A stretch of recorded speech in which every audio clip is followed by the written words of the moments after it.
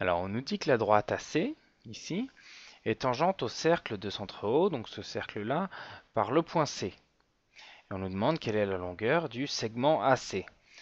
Donc première chose à établir ici, on sait qu'une droite euh, tangente à un cercle est perpendiculaire euh, au rayon passant par le point euh, d'intersection entre la droite tangente et le cercle. Donc ici, c'est donc on a le rayon là, OC, qui est perpendiculaire à la droite AC. Donc on peut définir un angle droit. Et ça nous donne une information intéressante sur ce triangle ACO.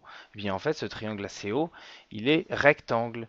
Et ça va nous permettre d'utiliser le théorème de Pythagore qui nous dit que l'hypoténuse au carré est égale à la somme des deux côtés au carré. L'hypoténuse ici, c'est quoi? On va l'identifier, c'est le côté le plus long, c'est le côté qui est également opposé à l'angle droit, donc l'hypoténuse c'est AO. AO, sauf qu'on n'a pas sa euh, longueur entière AO, on a uniquement AB.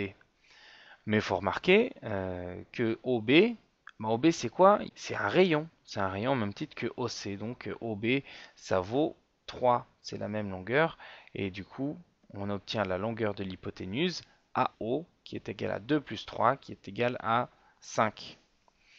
Donc voilà, on peut euh, résoudre, essayer de chercher donc maintenant à résoudre notre problème en écrivant que AC au carré plus, eh bien cette fois-là c'est 3 au carré, donc 9, est égal à 5 au carré, donc est égal à 25 il faut se débarrasser du 9 ici. Donc on va soustraire par 9 à gauche et à droite. Et on reste avec AC au carré est égal à 25 moins 9.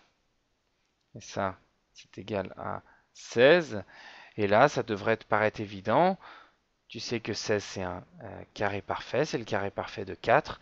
Donc, on a AC, si on prend la racine, c'est égal à euh, racine de 16 et donc racine de 16 c'est égal à 4. Donc on a déterminé la longueur du segment AC grâce à la droite tangente. Et eh bien le segment AC ça vaut 4.